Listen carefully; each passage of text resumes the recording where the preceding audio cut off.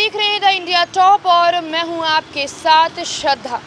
बिहार में ठंड का सितम कम होने का नाम नहीं ले रहा है। बीते दो दिनों से यहाँ धूप नहीं निकल रहा है, जिसकी वजह से कनकनी बनी हुई है। दिन के समय में भी धुंध देखने को मिल रहा है।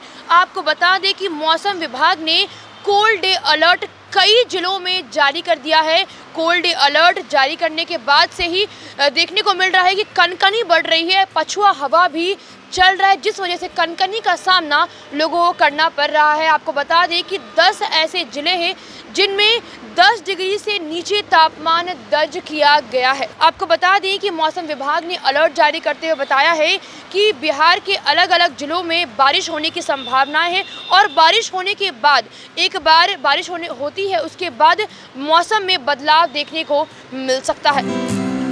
पिछले 24 घंटे में पटना समेत गया, छपरा, मुजफ्फरपुर, दरभंगा, पूर्वी चंपारण, सारण ज़िले में कोल्ड डे की स्थिति बनी रही। प्रदेश के अधिकांश भागों में घना कोहरा छाया रहा।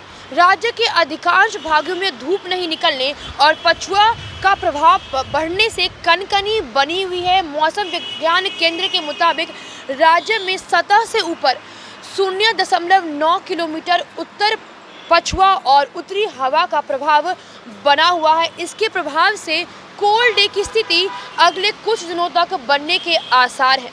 बता दें कि राज्य के लगभग तेरह जिलों में न्यूनतम तापमान 10 डिग्री के नीचे दर्ज किया गया है। मौसम विभाग के अनुसार अगले दो दिन तक यही स्थिति बनी रहेगी, जिसको देखते हुए मौसम विभाग केंद्र ने अलर्ट जारी किया है। गया राज्य सबसे ठंडा जिला रहा, जहाँ पाँच दशमलव एक डिग्री सेल्सियस तापमान दर्ज किया गया है।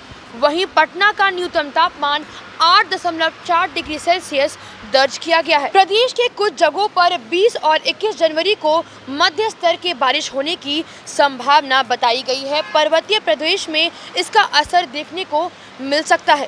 प्रदेश के उत्तर पश्चिम, दक्षिण दक्षिण पश्चिम, दक्षिण मध्य भाग के कुछ स्थानों पर बारिश होने के आसार हैं।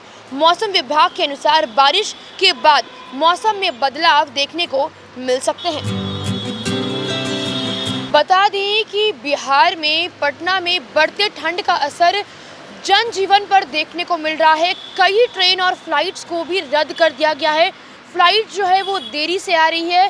कोहरा होने की वजह से रनवे जो है उसमें क्लियर विजिबिलिटी, लो विजिबिलिटी नहीं होने की वजह से कई फ्लाइट्स देर से आ रही है। आपको बता दें कि मंगलवार को बाहर से पटना आने वाले आठ फ्लाइट्स को रद्द कर दिया गया। वहीं पटना से बाहर जाने वाले पाँच फ़्लाइट को रद्द कर दिया गया है। आपको बता दें कि पटना से बाहर जाने वाले, पटना से दिल्ली जाने वाले, पटना से मुंबई जाने वाले, पटना से बैंगलोर जाने वाले कई फ्लाइट्स को रद्द कर दिया है, जिसकी वजह से यात्रियों को काफ़ी ज़्यादा दिक्कत का सामना करना पड़ रहा है। राहत की बात एक है कि मौसम विभाग ने बताया है कि अगले दो दिन में बारिश होने की संभावना है, जिसके बाद से मौसम में बदलाव देखने को मिल सकता है। फ़िलहाल इस खबर में इतना ही। आप देख रहे थे इंडिया टॉप। धन्यवाद।